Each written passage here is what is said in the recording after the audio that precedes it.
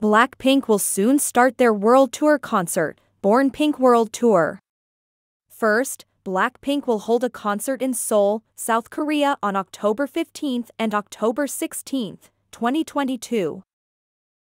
Ahead of the concert, of course, all preparations have been done carefully, both from Blackpink and the concert team on duty.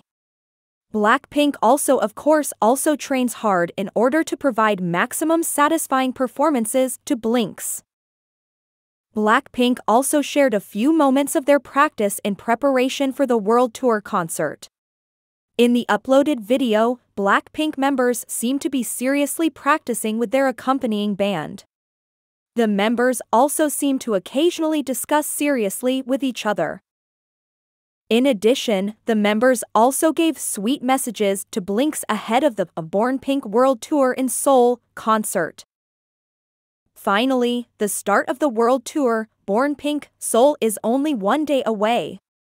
All our members are excited and excited to meet Blinks tomorrow. Blinks, are you ready to enjoy? Blackpink's Jisoo said. I feel like I can hear all of you from here. We are preparing a very special show for you because the wait has been so long. So please look forward to it, said Rose. Above all, safety is the most important. We all hope that everyone can come and go home safely and happily, Jennie hoped. We will prepare a good show for all of you blinks.